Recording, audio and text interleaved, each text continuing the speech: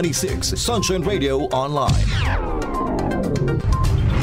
Para laging updated sa mga balita, bisitahin lang ang www.dzar1026.ph. I-follow din ang aming mga social media account sa Facebook at Twitter na DZAR1026. Dinig na sa buong mundo ang mga balita sa bansa sa pamamagitan ng online platform ng DZAR 1026 Sunshine Radio. Kapartner mo sa balita at serbisyo. Laganap man ang mga huwad na balita. Ang katotohanan ay hinding-hindi may kakailang. Piliin kung saan naroroon ang totoo. Huwag ang walang basihan at may pinapaboran. Alamin ang tunay na pangyayari habang kami maghahatid sa inyo. Hindi lamang kwento, kundi mga impormasyong tama, walang pinapanigan at totoo. Higit pa sa mga init na balita. Ang dala namin ay makatotohanang pagbabalita. SMNR, totoong boses ng bayan. DZAR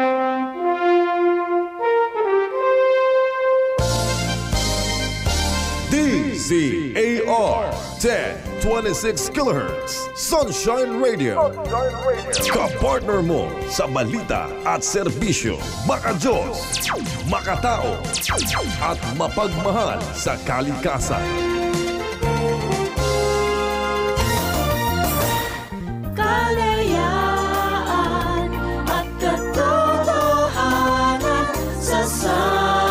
Sunshine, Sunshine Radio. Pamatayang oras sa buong Pilipinas, 6.34 na ng umaga. Narito na ang programang magsisilbing gabay sa bawat sitwasyong iyong kakaharapin. Mga kaso, reklamo o problemang kailangang may payong legal. Alamin ang inyong mga karapatan na naaayon sa saligang batas. Pinoy Legal Minds. Libre ang konsultasyong legal dito. Sagot ka ni Kuya Mark Tolentino. Kaya tutok na Pinoy Legal Minds.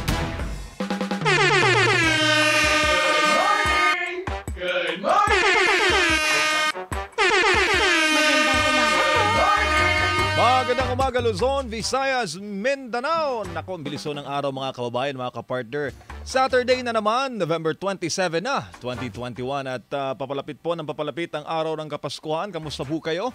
Welcome po sa ating programang Pinoy Legal Minds na siya magbibigay po sa inyo ng kaalaman, ipapaliwag, ipapaliwanag sa inyo ang mga proseso at mga bagay-bagay na may kaukulang ah, kinalaman sa mga batas, Philippine laws sa ating bansa. Live na live po tayo sa ating mga radyo, DZAR 1026 Sunshine Radio at nakasimulcast po sa ating mga social media accounts ang ating magandang palatuntunan ngayong umaga. Ako po si MJ Mondihar at makakasama natin ang ating kuya ng bayan, Kuya Mark Tolentino. Kuya Mark, may bunta, good morning. Ah, good morning MJ and to all our followers sa SMNI dito sa Pinoy Legal Minds. Ito yung kaibigan po ninyo, si Kuya Mark Tolentino. Oh my goodness, parang ah, naka-red ka at may tatak ang iyong ah, t-shirt. Mukhang ah, ang Ah. ating mga kababayan ay may aabangan sa iyong panibagong ano Kuya Mark, tahak sa buhay. eh, may, may nag-donate sa akin nito, so sinuot ko lang ngayon. Ah, nagbigay lang pala.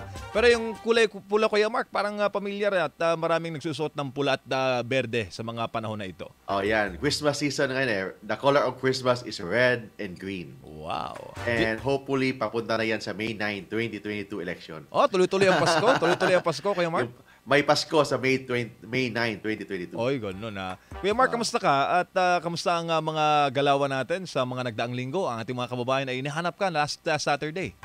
Yes, eh, uh, last Saturday na of course hindi tayo naka nakapag-live last Saturday because na sumama po tayo sa isang caravan sa BBM movement doon po sa Tarlac and bukas naman sa Baguio. That's why uh, nung last Saturday hindi po tayo nagkapag-live kasi conflict po sa schedule po natin. Oh, my goodness. So, Ah. mak ang ah, ating mga kababayan, Kuya Mark, alam mo naman, ay nakaantabay din sa iyong mga social media accounts at ah, sinusundan ang iyong mga ginagawa araw-araw.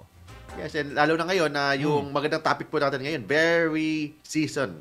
Seasonal talaga kasi yun ang pinag-uusapan ngayon, lalo na sa politika. But this is not related, actually, poli- politika to, but focusing tayo sa batas. Mm. Wala tayong pinapanigan dito. Ang pinag-uusapan na natin dito, ano yung nakasaad po sa batas. So, ano topic natin, MJ, ngayon? Ang topic natin ay DQ. disqualification law. Ah. So yun ang pag-uusapan po natin lalo na na dami nag-file ng disqualification. Ah. Hindi lang sa national, of course may nag-file I'm sure doon po sa local sa isang mayor, sa isang vice governor, isang governor in fact congressman, may nagpa-file din ng disqualification. And of course, pag-uusapan din natin yung disqualification ng na mga tumatakbong presidente, vice presidente at mga senador. Alright, maganda yan uh, Kuya Mark at uh, panahon na uh, siguro para pag-usapan din natin to kasi uh, naglipa na yung mga ganyang balita ngayon sa lahat ng mga news outlets Kuya Mark. Laman ng balita yun for the past week, eh, issue ng disqualification. Yes, tama yan. Oo. Sa ating mga kababayan, maaari po kayo mag-text sa ating text line 0927-540-2241. Maaari kayong tumawag 801-9836 sa ating landline 8363875 at isang click lamang po sa inyong uh, cellphone at mga computer, laptop may Zoom link po tayo sa description po ng ating live stream. Isang click lang at live kayo makapagtatanong mamaya kay Kuya Mark Tolentino. Kuya Mark, pasadahan na natin ang ating paksa sa umagang ito. Ano ba itong tinatawag, Kuya Mark, na disqualification ng mga kandidato? Actually, daming nagsasabi disqualification. But actually, dalawang klase po ang procedure dyan, MJ. May tinatawag tayong cancellation of the certificate of candidacy. May din may din mayor din tayong tinatawag na disqualification. Iba yung cancellation. Kasi iba yung grounds ng dis- ng cancellation, iba din yung grounds ng disqualification. Iba? So mag-start po tayo MJ sa tinatawag na cancellation. Ang cancellation may tinatawag na misrepresentation.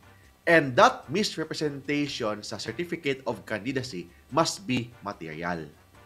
Kasi may, may nagtatanong sa akin yung kaso nga ni sino to, ni ni Tulfo, yung tumakbong senador, Mm. kasi iba yung asawa na nilagay niya sa spouse. Mm.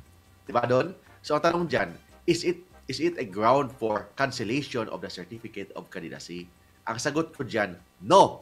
Hindi yan grounds for the for the for the cancellation of the certificate of candidacy. Yes, maybe there is misrepresentation, but not material misrepresentation. Very clear kasi ang batas kung ano yung mga tinatawag na material misrepresentation. Number one, na misrepresent mo yung tinatawag na yung nationality. So your nationality, yung yung date of residency, kung ilang taon ka nag-stay dyan sa bahay mo, yung address mo, yung civil status, yung birthday, yun lang nakalagay. Birthday and civil status. Ibig sabihin, kung sabihin mo na single ka, married ka pala, yan, material misrepresentation. Yan. Mm. Pero kung sinabi mo doon na married ka, but iba yung nakalagay na, na asawa, yes, maybe there, there is misrepresentation, but that is not material misrepresentation. Kasi very clear ang batas, ang material misrepresentation, it refers only to the civil status ng isang tao.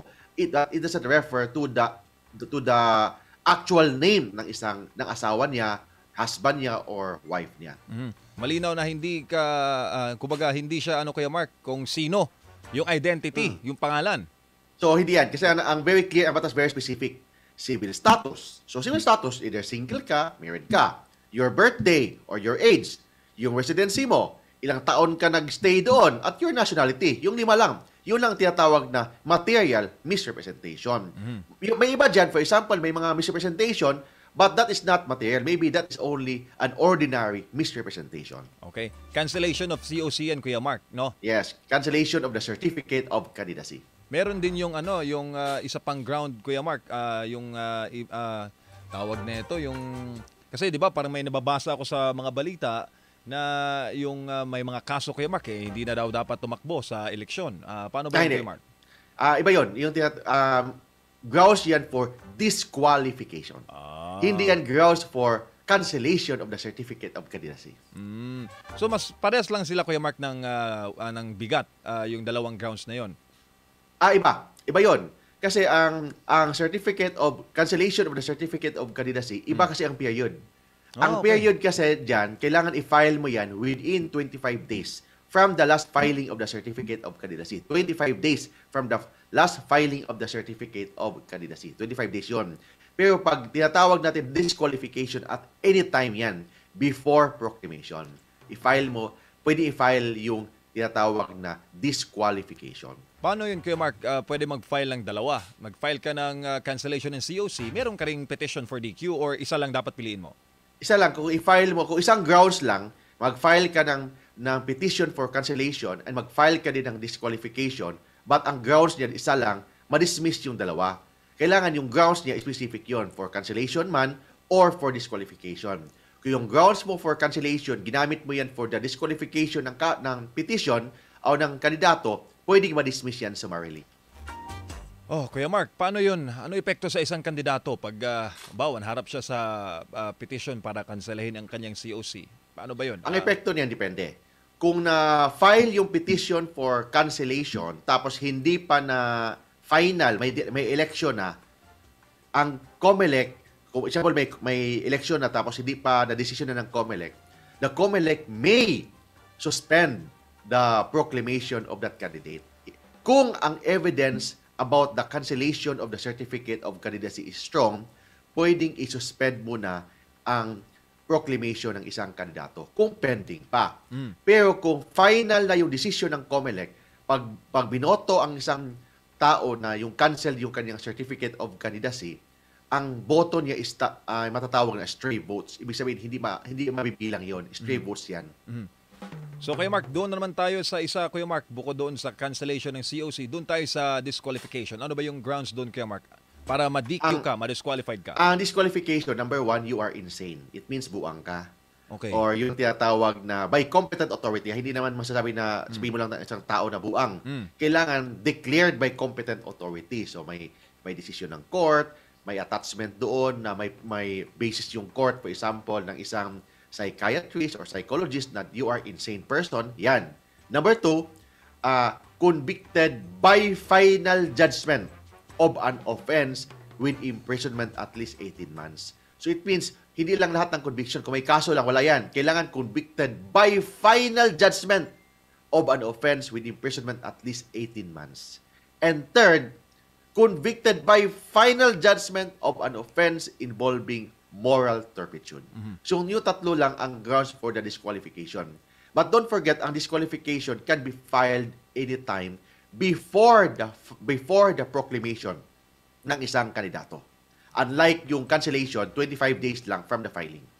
So, may banta pa rin pala kahit nakasulat na yung pangalan mo sa balota. Pwede, pa, pwede ka pa rin ma-DQ, Kuya Mark, kung ikaw ang kandidato. Kung ikaw isang kandidato, pwede kang ma-DQ provided that yung mga grounds na sinasabi ko nandun. So, kung wala wala naman yung grounds doon, so hindi ka ma-DQ. So, yun lang yung specific yung tatlong grounds na sinasabi natin. Kahit isa doon. Kahit isa doon, ah, basta ma, ma- may isa ka doon, convicted ka by final judgment of an offense involving moral turpitude, for example, ah, madi- ma-disqualified ka na. But of course, hindi naman automatic disqualification. May tinatawag tayong due process. So any any citizen of the Republic or any any voter of the Republic of the Philippines or any registered political party can file the petition for disqualification anytime before the proclamation ng isang kandidato. So, pag uh, pinadiki mo siya after niya ma-proclaim, wala na. Mutan academic na yon.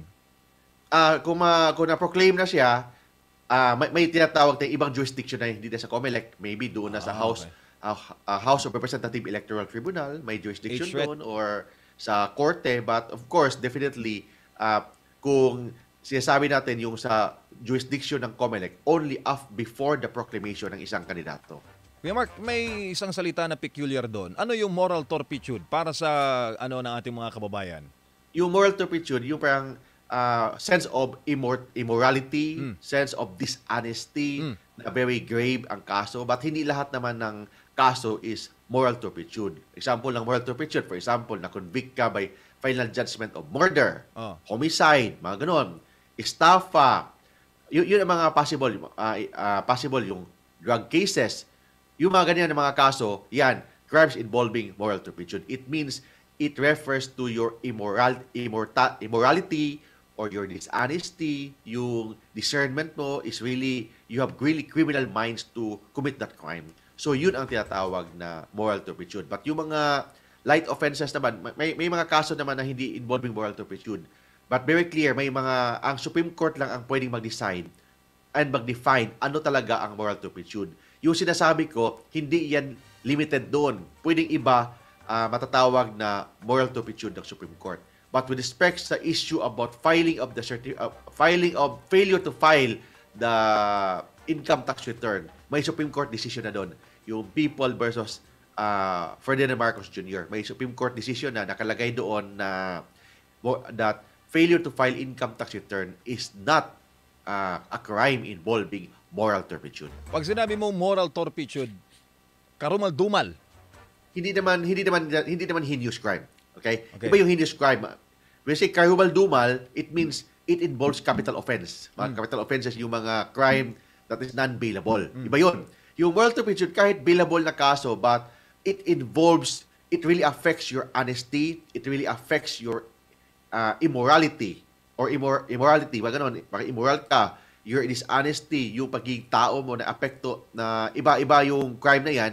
So, actually, walang specific enumeration ang Supreme Court kung ano yung mga immoral, ah, moral turpitude. Nagbibigay lang sila ng example, yung sinasabi ko kanina, but hindi yan limited doon. But sa- sabi ng Supreme Court, may mga may mga kaso na dideclare na ng Supreme, ng Supreme Court na hindi siya involving moral turpitude. Kasama doon yung tinatawag na failure to file income tax return nakalagay po doon sa Supreme Court decision na hindi yan a crime involving moral turpitude. So, paano yun, Kuya Mark? Ah, pag sinabing convicted with final judgment, kailangan dapat ah, Supreme Court na ang umabot na doon sa Supreme Court ang uh, kahit na kahit na sa MTC pa lang, pwedeng maging convicted by final judgment. Kung for example, na convict ka sa MTC, sa Municipal Trial Court, hindi ka naman nag-file ng motion for reconsideration, hindi ka naman nag-file ng apila sa Regional Trial Court. So, in that case, maging final yan and executory within after 15 days from notice of the decision.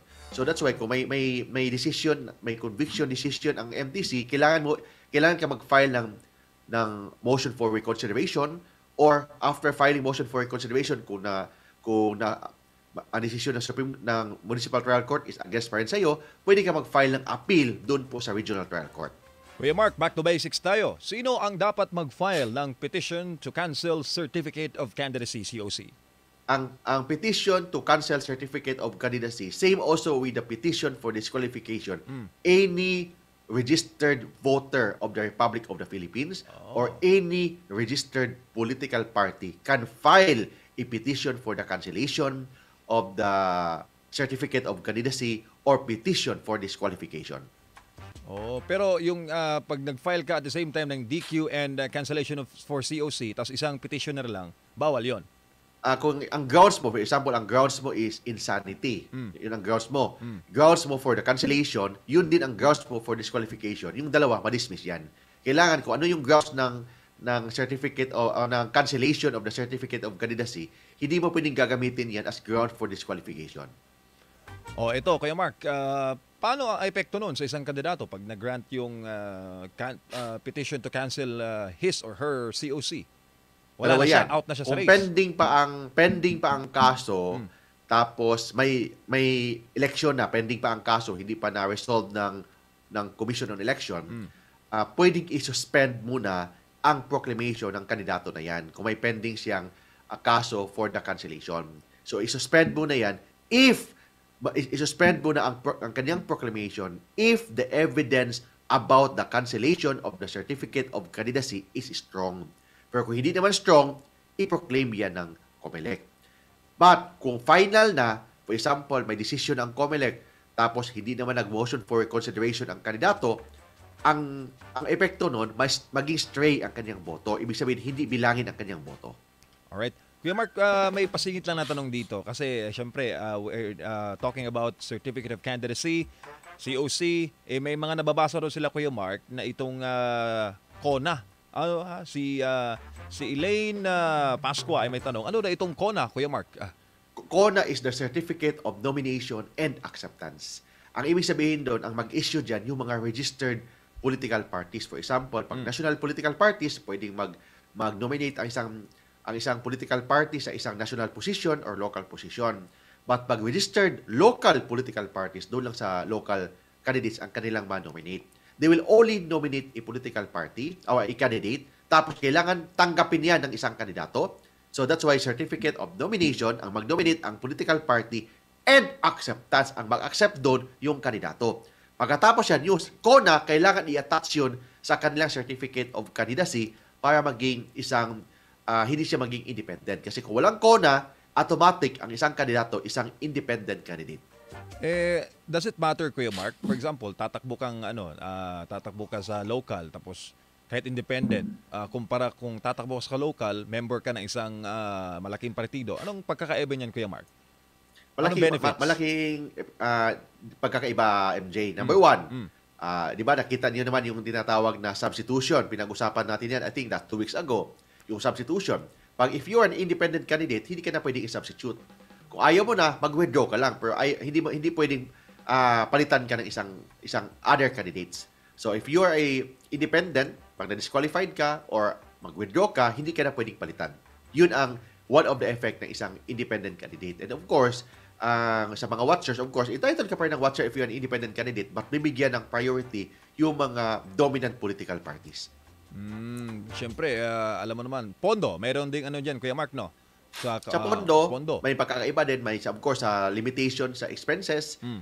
iba sa isang ah, isang independent candidate at iba din sa isang ah, member ka ng isang political parties. Kuya Mark, ah, seven- ah, 6.53 na ng umaga, may tanong dito at ah, palagi daw nilang nababasa yung salitang nuisance. Nuisance candidate. Eh, para po sa kabatiran ng ating mga kababayan, Kuya Mark, ano ba itong nuisance candidate at paano ka matatawag na nuisance? I- isa kang nuisance candidate, tatlong tatlong ah, elemento na ma- masasabi that you are a nuisance candidate. Number one, you have no you have no bona fide intention to run the campaign. So number one, no bona fide intention to run the campaign. Number two, yung pagtakbo mo, it will create confusion.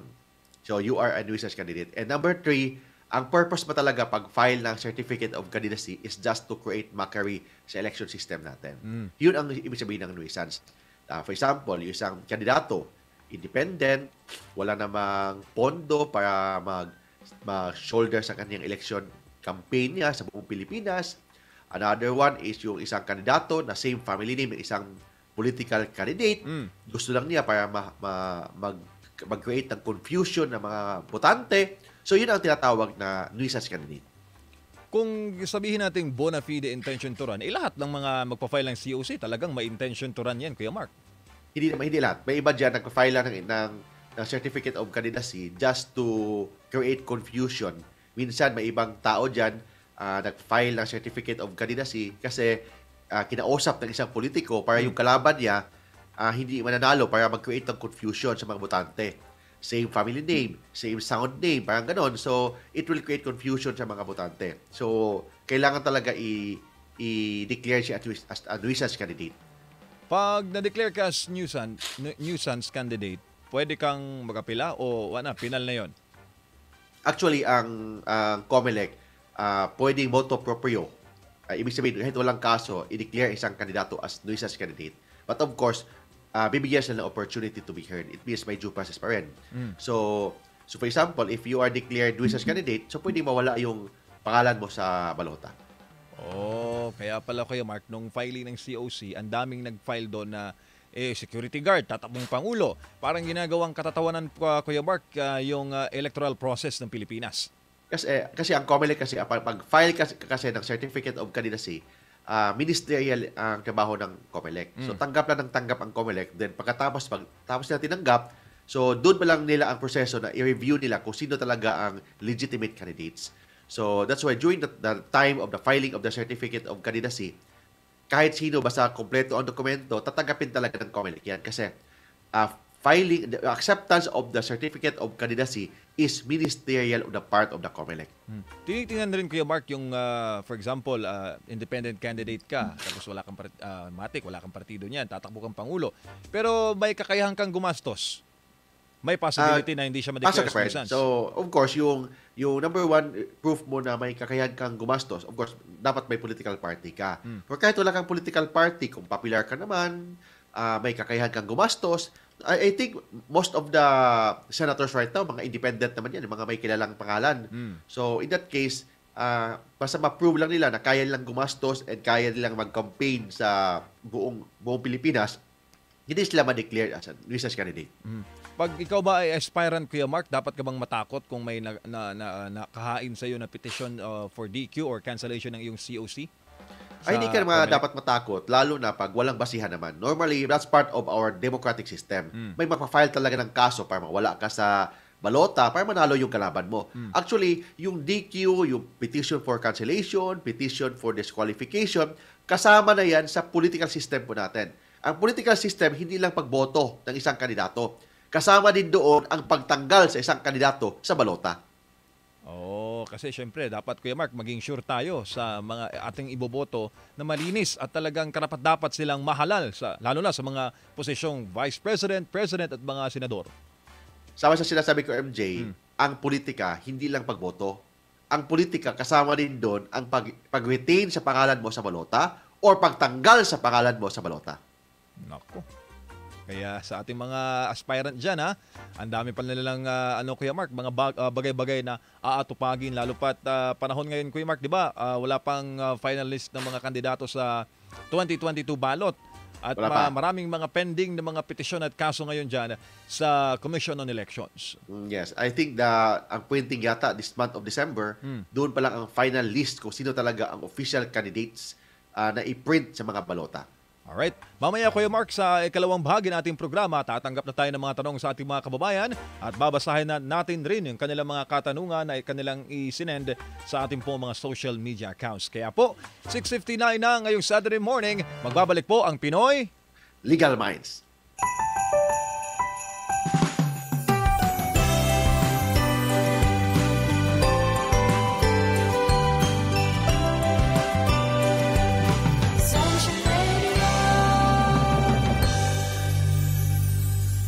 Sa kalusugan at pabahay, aasenso tayo. Sa edukasyon, aasenso tayo. Sa pangkabuhayan at trabaho, aasenso tayo. Sa proteksyon ng karapatang pangtao, aasenso tayo. Aasenso Party List, inyong kaagapay. Sama-sama, sabay-sabay, walang iwanan. Aasenso ang sambayanan, aasenso ang buong bayan. Kahit saan ka man, konektado ka sa mga pangyayari sa bansa. Sa pamamagitan ng DZAR 1026 Sunshine Radio Online. Para laging updated sa mga balita, bisitahin lang ang www.dzar1026.ph. I-follow din ang aming mga social media account sa Facebook at Twitter na DZAR1026. Dinig na sa buong mundo ang mga balita sa bansa sa pamamagitan ng online platform ng DZAR 1026 Sunshine Radio. Kapartner mo sa balita at serbisyo.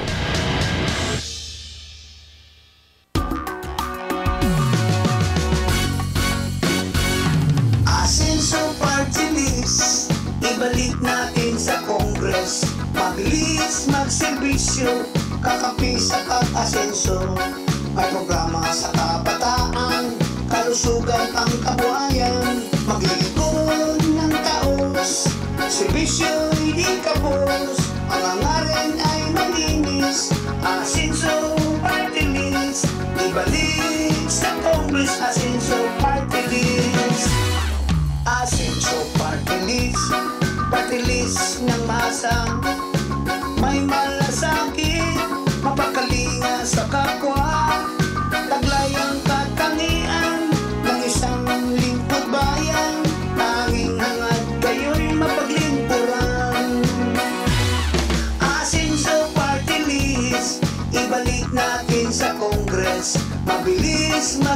magserbisyo Kakampi sa pag-asenso. May programa sa kabataan.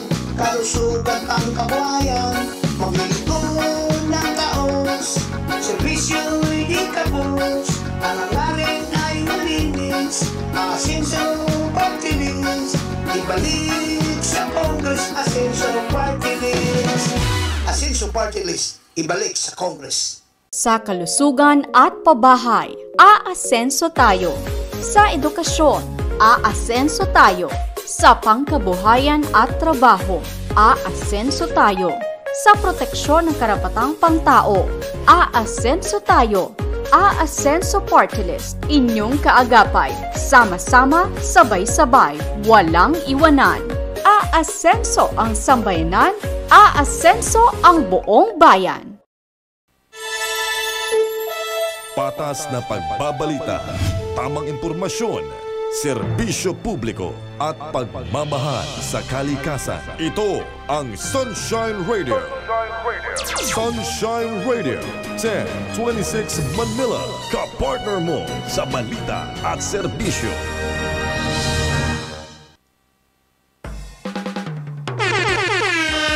Tayo sa ating programang Pinoy Legal Minds. Kasama pa rin si Kuya Mark Tolentino. Kuya Mark, at ako, maraming mga tanong dito sa ating mga texter at ah, hinihingi nila yung iyong ah, masasabi, yung iyong side sa kinakaharap ho ngayon ni ah, Presidential Aspirant Bongbong Marcos. Kasi akma-akma rin Kuya Mark, ah, nakaharap siya ngayon sa limang petisyon. Ah, may petition to cancel his COC, meron din petition to ah, para ma-DQ. Lahat, Kuya Mark, ay hangad na ma ah, hindi siya makatakbong pangulo sa 2022 elections. Oh, normal talaga yan pag isang tao na may na, may numero. So, kasi leading siya sa mga surveys, so daming nagbumabato sa kanya. Yun namang mga mahina sa survey, wala namang nagpa-file ng disqualification kasi they're just wasting their time. Ito kasi ayaw talaga nila na maging presidente si BBM. I don't know bakit. At sa atin naman, ang batas lang na, ang susundin natin. So, ano yung nakasa, nakasaad mo sa batas? Number one, yung tinatawag na cancellation. Pag petition for cancellation, pag final mo after 25 days, technical knockout na yan. Kasi in the very first place, kailangan within 25 days from the filing, kailangan mo i-file yung petition for the cancellation of the certificate of candidacy. And very clear, kailangan based on material misrepresentation. Yung lima lang naka- nakasaad doon. Number one, ano yung nationality mo. Kung for example, hindi ka naman Pilipino, sinabi mo doon na Pilipino ka, yan, pwede yan. Number two, civil status mo.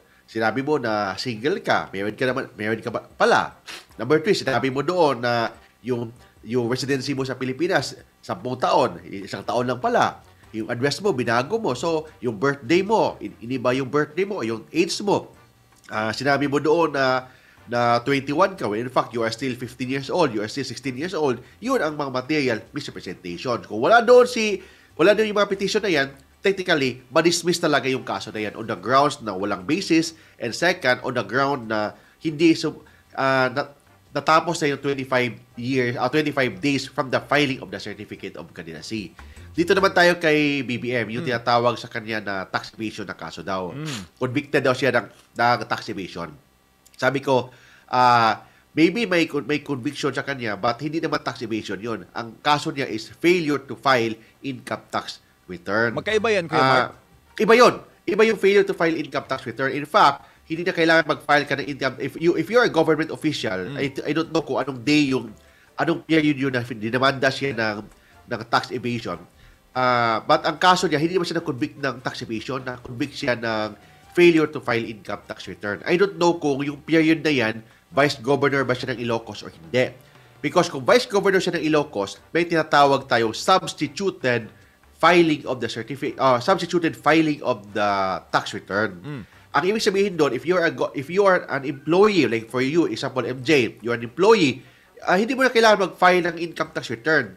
Kasi withhold na yung tax mo, yung tinatawag na withholding tax. Ang mag-file ng income tax return on your part, yung iyong employer ang mag-file. If you are an employee, yung tinatawag na compensation tax law. So in this case, I don't know kung nung dinimanda siya, vice governor ba siya or noong panahon na yun or still a private individual. And second, yung tinatawag, sorry MJ ha, may, may konting sip lang tayo. So dito tayo sa sa tax evasion. Hindi siya tax evasion. Kasi ang tax evasion, ang ibig sabihin ng tax evasion, hindi ka nagbabayad ng buwis. In this case, ang kaso naman niya is just failure to file income tax return. Very clear po ang comment, ang decision ng Court of Appeals. Hindi naman siya kinunvict doon ng kulong. In fact, natanggal yung kulong. Ang nakalagay doon, fine lang na 2,000, then 30,000 na penalty yata. So, that's thir- more or less 32,000 na payment. So, wala namang kulong. So, in this case, kasi wala namang kulong, and wala namang nakalagay doon na disqualified siya to hold any office under the principle of immutability of judgment ng court. Ibig sabihin ng immutability, pag file na na ang decision ng court, hindi mo na, hindi mo na pwedeng baguhin yan. In fact, the COMELEC has no jurisdiction to amend the decision of the Court of Appeals. Ah, kaya pala sinasabi ng ano ng ah, kampo ni BBM na walang karapatan ang ah, poll body na baguhin yung CA decision, CA ruling. ang ang COMELEC kasi MJ, ang ang jurisdiction nila is only the interpretation and the implementation of the Omnibus Election Code. Hindi kasama doon ang kung ang jurisdiction is the Court of Appeals. Ang Court of Appeals and under the ranking kasi MJ, Court of Appeals and and COMELEC same rank yan MJ. Ibig sabihin kasi same rank yan, kung anong desisyon ng Court of Appeals, hindi mo pwedeng baguhin, hindi pwedeng baguhin yan ng ng COMELEC kasi they have the same rank. And second, under the principle of immutability of the decision, kung file na na ang decision, hindi na pwede, pwedeng baguhin yan. Lalo na ng isang same ranking department like the Commission on Election. Okay. Kuya Mark, eh, magsasabi yung mga petitioner, yung ah, kaso daw ni BBM ay involves moral turpitude. Totoo ho ba yun? Hindi yan involving moral turpitude kasi may Supreme Court decision na MJ. Failure to file income tax return is not a crime involving moral turpitude. Hindi naman yan murder. Hindi naman same yan ng estafa. Hindi naman same same yan ng homicide or drugs na na it affects your honesty, it affects your morality. So in this case, very clear ang Supreme Court decision. Failure to file income tax return is not a crime involving moral turpitude. Alright. So, ah, ano masasabi mo naman, Kuya Mark, ah, sa mga provision sa tax code na ang isang public official ah, na na-convict ay dapat perpetually disqualified na na makahawak sa anumang posisyon sa pamahalaan? Na, na- nakalagay dyan sa tax code na you are perpetually disqualified to hold any office if you are convicted pag maximum offense. In this case, the decision of against Ferdinand Marcos Jr., wala naman nakalagay doon na i-disqualify siya kasi nga ang penalty nakalagay doon is fine lang. Ibig sabihin, hindi yan maximum offense. Ang nakalagay lang doon na kung, kung kasama pa doon ang disqualification, dapat ilagay na doon sa Court of Appeals decision.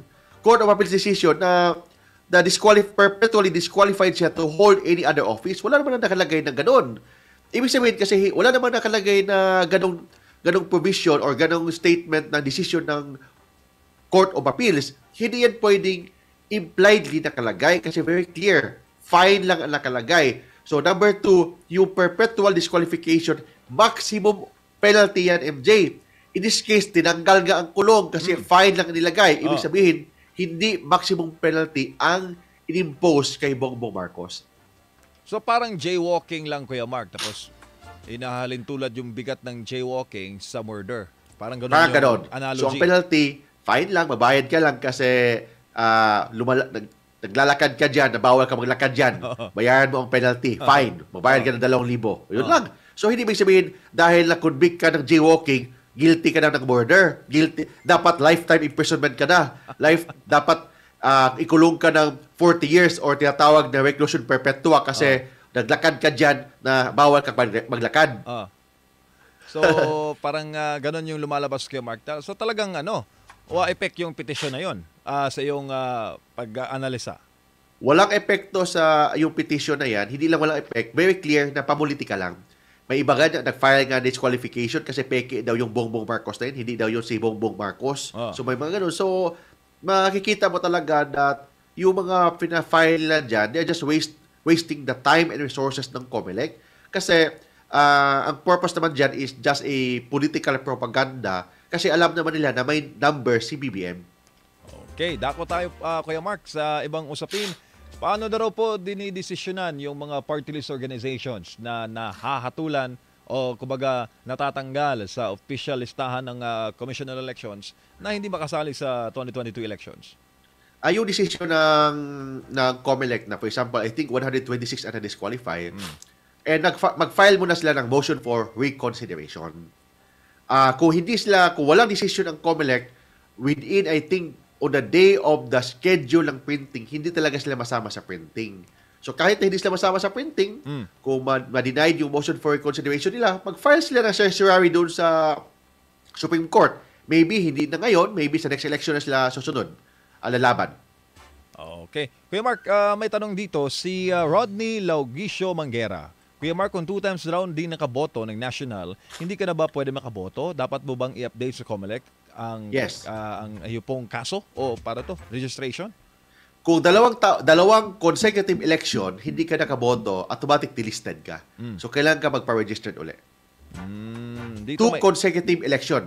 Pwedeng national election, pwedeng local election, pwedeng barangay election. Basta two consecutive election, hindi ka nakaboto, madilis yung pangalan mo. So, kailangan ka magpa-registered ulit. Mm. Ah, tanong ni si ah, Ann Gagdo may tanong, ah, pwede ba sa Pilipinas ako nakarehistro pero dito ako sa Hong Kong ngayon? Pwede raw ba siya makaboto? Kaya Mark. Kailangan, if you are, yung mga absentee voters, kailangan magpa-registered as an absentee voter sa kanilang embassy. Mm. So, for example, if you are a registered voter in Makati, ah, hindi ka pwedeng bumoto doon sa Hong Kong. Kailangan magpa-registered ka as an absentee voter. So, ibig sabihin, kailangan ka magpa-register doon sa embassy ng Hong Kong at the time of the period of the registration. Pag absentee voting, walang local na iboboto kay Mark ba? Puro national ka lang? National President, Vice President, Senators, kasama doon ang party list. Yun lang ang pwedeng iboto ng mga absentee voters. Oh. Kuya Mark, ah, ito, may mga petisyon ngayon ang uh, iba't ibang mga kandidato, national local. Obliged ba ang COMELEC na desisyonan yan bago ang araw ng ah, paglilimbag, printing ng mga balotang gagamitin sa 2022 elections? Or Dapat lang, dapat. Dapat lang sila mag-decide. Pero assuming na hindi kaya kasi sa dami, for example, sa, comment, sa party list, 126 ang na-disqualify. I think more than 100 ang nag-file ng motion for reconsideration. Kay BBM, ang daming nag-file ng disqualification. So, hindi naman obliged ang COMELEC na tapusin talaga yan kung kung marami taman, kung maraming mga evidence hindi nila kaya sa panahon. So that's why sabi ng ng batas, assuming pending pa ang ang tinatawag na petition for cancellation, ah, ang gagawin ng COMELEC is is to suspend ang proclamation kung manalo man kung evidence about cancellation is strong or evidence about disqualification is strong, pwedeng i-suspend ang proclamation ng isang kandidato kung ah, kung na hindi pa na-resolve ang desisyon ng COMELEC on the day of the election. Kuya Mark, halimbawa kung maraming petisyon at iisa ang mga grounds, may pwede ba yung ano, consolidation ng mga reklamo? Possible. Possible pwede i-consolidate yan. o para mas mabilis, 'di ba, ang uh, Yes, pasya? yes. Mabilis at same time, isang decision lang. Mhm. Kuya Mark, ah, may ah, tanong dito si Gobrin Pongski. Ah, about daw sa Makabayan Block, ba't raw di pa ma-disqualify? Eh, halata naman daw mga makakaliwa. Ano, paano ba yan, Kuya Mark? uh, yun, yun tinatawag na it's up to the COMELEC to decide. So, may tinatawag pa rin due, due process. So, bibigyan sila ng opportunity to be heard. Lalo na, we are in a democratic system naman. So, bibigyan ng pagkakataon yung, yung makabayan block na to, to present evidence na hindi naman totoo yung mga allegations sa kanila. Hindi naman ginagamit nilang pondo nila for to to do rebellion or or terrorism. So, for example, like that. So, kaila- kailangan nilang i-defend yung sarili nila. So, magpasyan sila ng evidence doon po sa COMELEC. Bukod sa mga petition to disqualify, to cancel COC ng mga individual na tatakbo sa halalan, meron ding mga partido, Kuya Mark, mga national political parties na may mga faction rin. May mga hatian rin. Yes. So, that, that's that's part of sa trabaho ng COMELEC. Like, for example, yung PDP Laban. Correct. May Pacquiao wing, may Kusi wing. So, trabaho din ng COMELEC yan to decide kung sino ba dyan ang legitimate members or legitimate officers ng PDP Laban. So, trabaho din ng COMELEC yan. So, maraming trabaho ng COMELEC yung sa issue about the uh, about the political parties, kung sino yung legitimate. Number two, about issues about cancellation ng certificate of candidacy. Number three, yung disqualification. Number four, yung mga protest after election, may mga protest dyan. So, kasama sa trabaho ng COMELEC yan. Nako, ah, parang ah, talagang ah, di mo rin masisi Kuya Mark ang COMELEC na busy-busy. Kahapon yata nagsimula yung ah, hearing ng ah, kaso ni ah, Senator Bongbong Marcos. I think second division sa COMELEC ang umahawak sa petition. Yes, yes. So, so hopefully, ma-decide, ma-decided yan, uh, the court will decide on that issue uh, before the election. Kasi after election na, baka may magka-problema about the, about the proclamation uh, kung evidence of about disqualification is strong. So, very clear ang batas. If the evidence about disqualification is strong, the COMELEC may suspend the, procla- the proclamation of a candidate. O ito kay Mark, balikan ko lang yun sa partido. Anong mangyayari kung ang ah, Party A ay ah, hindi pinagbigyan yung kanilang ah, petisyon na kumbaga eh yung may ah, political party na may faction o yung isa pinagbigyan, yung isa hindi. Ah, ano mangyayari doon sa natalo sa petisyon, Kuya Mark? Lahat ng mga kandidato nila magiging independent. Oh, Oh, magiging independent. So, ibig sabihin, ah, yung mga CONA ng PDP laban, for example, Pacquiao Wing, natalo si Pacquiao Wing. Example lang to. Ah, lahat ng mga kona under PDP laban, Pacquiao Wing, do, will be considered independent. And substitution is hindi na pwede. Hindi na pwede ang substitution. So, yun, yun ang epekto pag maging independent ka. And of course, uh, with respect sa election watchers, you're still entitled if you're independent. But of course, ang bibigyan ng priority yung mga uh, dominant political parties with respect to the watchers and with, with respect to the copies ng uh, election returns. So, yun ang pagbibigyan. Si Alan Tan ay may tanong, Kuya Mark, paano kung ma-DQ si BBM? For example lang, Kuya Mark, ha, kung ma-DQ, pwede ba raw a substitution sa kanya? Hindi, ah, ang substitution sa kanya, yung tinatawag na, di ba sinasabi ko, dalawang klaseng substitution. May tinatawag na voluntary substitution, may tinatawag na involuntary substitution. Yung voluntary substitution, yung ginagawa kay Mayor Sara Duterte. Voluntary yon Ibig sabihin, may nag-withdraw, then pumasok siya. Voluntary substitution. Ang involuntary substitution, yung na-disqualify, may namatay, in that case, involuntary. Pag involuntary substitution, anytime yan pwede kahit on the day of the election. But kailangan same family name. For example, ma-disqualify si BBM, kailangan ang papalit sa kanya isang Marcos din. So possible si Senator Amy Marcos or kanyang asawa or kung sino man. So yun ang magpapalit sa kanya kung ma-disqualify man. But I'm sure hindi naman. But assuming this is for for purposes of discussion lang, kung ma-disqualified man si BBM, ang papalit sa kanya because ang substitution na mangyayari is involuntary substitution. So kailangan same family name. Okay. Si Alfredo Ugalde ay may tanong, pag nanalo raw si BBM na na nakapag-take oath as president at hindi tapos ang kanyang cancellation or disqualification case, ay pwede pa siyang tanggalin sa posisyon as president? So in that case, uh, after proclamation, wala nang jurisdiction ang COMELEC. Ang may jurisdiction dyan, ang Presidential Electoral Tribunal na. PET ang may jurisdiction about that. Oh, but the, the possibility, Kuya Mark, is still there. Yung disqualification, may, may tinatawag, yes, possible din yan na ma-disqualify, but based sa sinasabi ko, walang bearing, walang mabigat na basis kasi la- lalo na in this issue about uh, moral turpitude, hindi naman moral turpitude, may Supreme Court decision na doon. Second, yung issue about failure to file and yung conviction sa kanya. Kung basahin mo yung decision ng Court of Appeals, wala, nam- wala namang nakalagay na disqualified siya to hold any other office or to vote. In fact, nakaboto siya nung tumakbo siyang senador, tumakbo siyang vice-presidente. Ah, so it, it means na, na wala talagang basis kasi, ang basis kasi for disqualification, kung may conviction. Ang conviction dapat, i-attach nila doon ang decision ng Court of Appeals. Kung basahin mo yung decision ng Court of Appeals, walang nakalagay doon na disqualified siya to hold any other office. Under the principle of immutability of the decision of the courts, yun ang basis nila. So, ang basis is the decision ng Court of Appeals. Kailangan, yun din ang basis nila. So, ano bang basahin mo ang decision ng Court of Appeals? Wala naman nakalagay doon na disqualification. And under the principle of immut- immutability of the of the decision of the courts, so dapat yun lang ang i-apply. Walang jurisdiction ang COMELEC na i-amend nila ang desisyon ng Court of Appeals. Clear ang Court of Appeals. Nakalagay lang doon, magbayad lang si Bongbong Marcos ng fine. Okay, malinaw yan. Kuya Mark, Kuya Mark, nakaka-apekto ba sa di- decision making ng COMELEC yung dami rin ng mga petisyon na nakasampa? Ah, hindi. Ah, kasi ang the COMELEC should decide based on law. So based lang sa batas ang dapat ah, gagawin ng COMELEC. Of course, dahil sa political political it, it involves politics in this case ng mga kaso sa COMELEC, maraming magpa-file dyan kahit ano nung filing, mga nuisance petitions. May iba dyan magpa-file dyan na ibang pangalan ni BBM, hindi daw siya, peke daw siya ng BBM. May iba dyan nagpa-file ng disqualification, kahit ano nung mga grounds, pa iba-iba. But same lang ang grounds, pa iba-iba ang facts, but same lang ang grounds. So it will not affect kasi the decision, the COMELEC should decide based on law and based on evidence. Hindi based sa ah, kung sino yung kung maraming petition na, na final. Kung hindi based on law and only based on evidence. Kuya Mark, iba ba ang treatment ng COMELEC? For example, ang mga petisyon ay local. At ito, pinag-uusapan natin, malakihan to, national eh, pampanguluhan eh. Yung mga petisyon na nakasampa ngayon, same lang ba yung treatment nila o mas ah, urgent yung ah, treatment sa national ah, mga na- mas- national petitions? All election cases are considered urgent. Ah, kasi it, it should not dis, disenfranchise the the voters or the sovereign people. So all election cases should be urgent. Oh, so ah, dapat talaga bilis-bilisan na ng ah, poll body ng Yes, yes, ah, ganun yan. COMELEC Kuya Mark.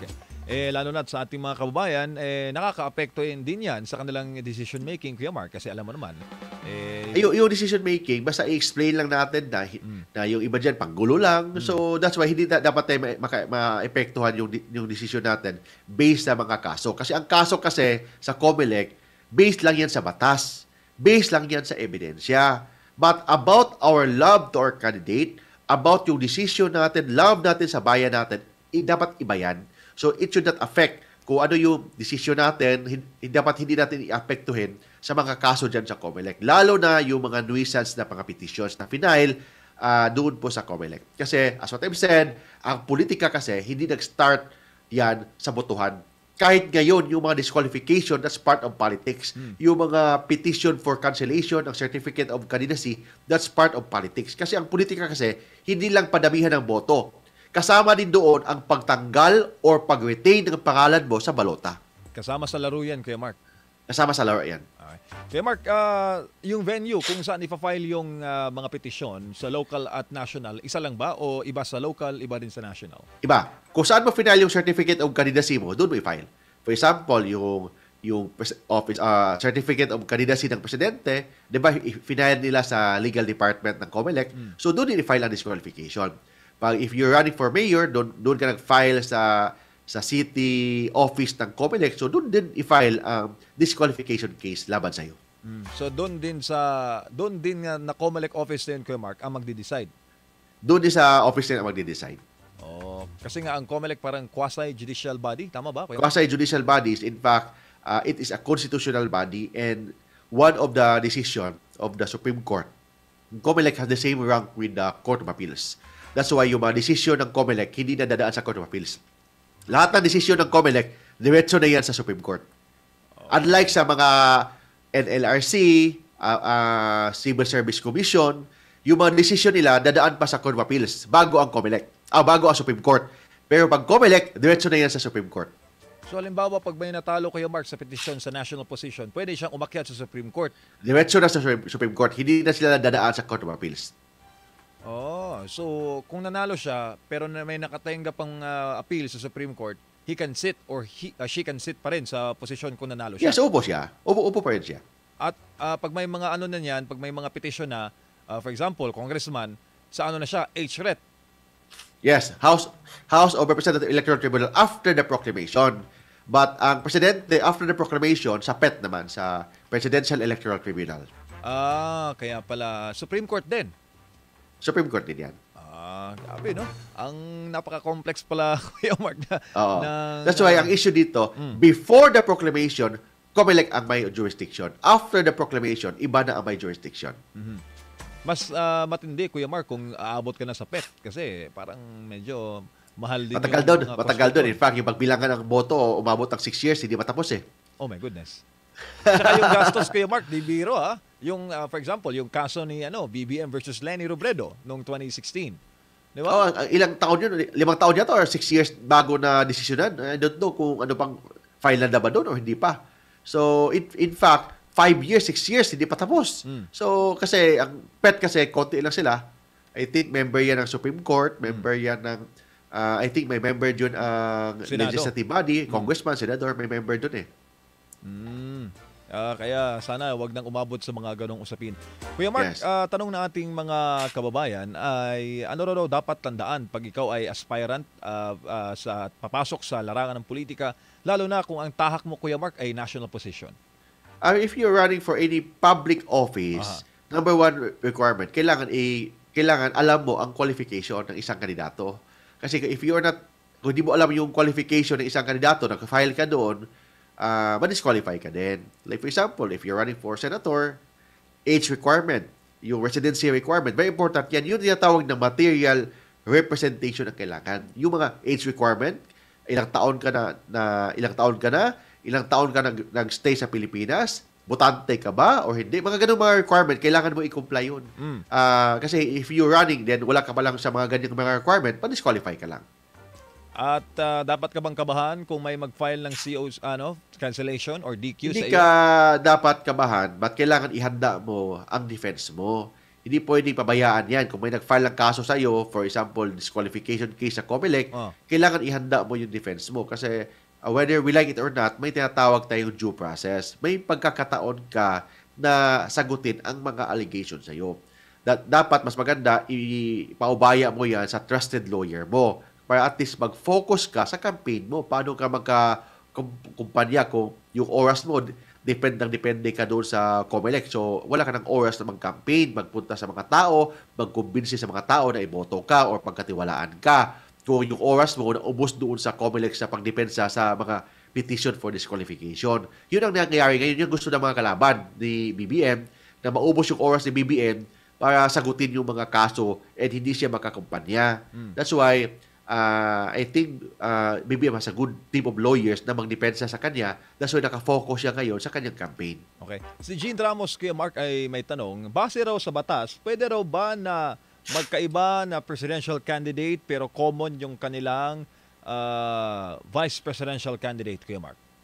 Ano sa sa sa batas natin, for example, i- pwede yung isang presidente, Ah. ibang partido, vice presidente, ibang partido, then mag-coalition sila. Wala problema naman yan. Mm. Pero parang ah, parang ano no, kakaiba kasi dapat 'di ba ah, tatakbo kang pangulo, meron kang running mate. Eh kukunin mo yung running mate ng ibang may running mate, parang alam pwede mo naman, if you, kung sabi, sabihin mo isang kandidato na yun ang vice president ko, tapos hindi, ka, hindi pala ikaw yung vice presidente niya, eh, right mo yan na na ipakala ah, na siya yung i-endorse mo as vice president. But right din ng vice president na hindi kanya i-endorse. ah, di right na hindi i-honor Kuya Mark yung kumbaga right niya na hindi ka i-honor, right niya yan na tanggihan yung yung offer offer mo sa kanya. Ah, so ah, kumbaga sa mga salita lang 'yan, parang ganon, in words lang 'yan. Or, oh, oh, salita lang yan, walang formal kasi we are in hindi naman tayo uh, dual party system like before. Mm. Multi-party tayo. So that's why may presidente ibang partido, Ah. vice presidente ibang partido, then nag-coalition sila. Tapos kung may ibang part- political may isang presidential candidate na kunin yung isang vice presidente, Mm. depende sa coalition agreement ng ng kanyang vice president, ah, presidente kung pumayag. Pwede namang tanggihan niya, pwede rin niyang i-honor. So it's up to the vice president kung i-honor niya or hindi. Kung hindi niya i-honor, walang magagawa yung presidente na nang-endorse sa kanya. Pero walang epekto 'yun Kuya Mark ah, sa Walang walang walang laws. epekto 'yan Mm. ah, in law but in politics malaking impact 'yan. Ah, kasi 'di ba, all, as we all know, politics is perception. Perception and it's always addition, don't forget that. But in this case, if yung isang vice presidente kung trapo pa 'yan, tinanggap niya yung lahat ng offer sa kanya. But I believe yung vice presidente na 'yan, oh, si nakalala natin si Mayor Sara Inday Sara, hindi naman siya trapo na klase na kandidato. Mm. So that's why kung trapo pa siya, opportunista siya, tanggapin niya lahat na nag- nag-endorse sa kanya. But in this case, stick siya sa one. Loyal siya sa one. Stick siya sa one. Kay BBM siya. Okay. Kuya Mark, ano po ang ating ah, moral lesson sa ating paksa? Disqualification po ang ating paksa ngayong umaga.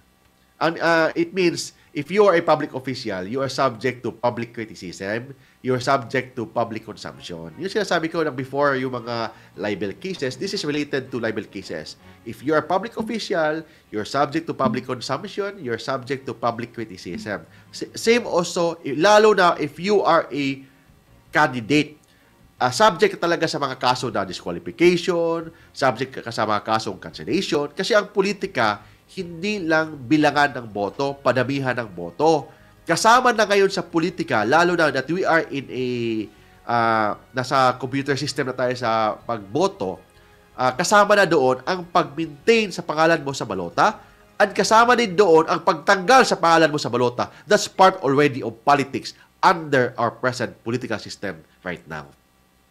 Kuya Mark, saan po namin kayo mapapanood? Saan nila kayo makukontak? At saan yung office ng Asenso Party List? Nagtatanong yung mga kababayan natin. Yeah, for free legal advice, okay? Just call me, okay? For free legal advice and of course, uh, Ascenso call me sa landline natin sa 8-565-1653, 8-565-1653, and sa smart natin sa 0968-881-1912. I repeat, 0968-881-1912, and sa Globe natin sa 0917-329-5353. And please like my Facebook page sa facebook.com slash Mark Tolentino Law and sa YouTube page natin sa youtube.com slash Mark Tolentino Law Blog. And for about the Ascenso Party List, please like, message lang po sa facebook.com slash Aasenso Party. Yun ang Facebook page natin and you can message there kung may maitulong po kayo sa Ascenso Party List. Alright, maraming salamat Kuya Mark at maraming natutuhan ang ating mga kababayan sa usapin na ating natalakay sa umagang ito. Maraming salamat din sa management ng DZAR 1026 Sunshine Radio sa ating pinakamamahal na pastor, Pastor Apollo C. Kibuloy. Maraming salamat po Pastor sa tiwala sa programang Pinoy Legal Minds na magbigay po ng kaliwanagan at impormasyon sa ating mga kababayan. Next week ulit, same time, 6.30 hanggang 7.30 ng umaga. Saturday morning po tayo ha mga kapartner. Make it a habit na makinig po sa ating programa. Ito po ang Pinoy Legal Minds. Inyong napakinggan ang programang Pinoy Legal Minds. Nawa kayo'y aming nagabayan sa mga payong legal mula kay Kuya Mark Tolentino hanggang sa susunod na Sabado, alas 6.30 hanggang alas 7.30 ng umaga. Dito lamang sa DZAR 1026 Sunshine Radio, DZAR 1026 Facebook page at YouTube channel. Sa kalusugan at pabahay, aasenso tayo. Sa edukasyon, aasenso tayo. Sa pangkabuhayan at trabaho, aasenso tayo. Sa proteksyon ng karapatang pangtao, aasenso tayo. Aasenso Party List, inyong kaagapay. Sama-sama, sabay-sabay, walang iwanan. Aasenso ang sambayanan, aasenso ang buong bayan.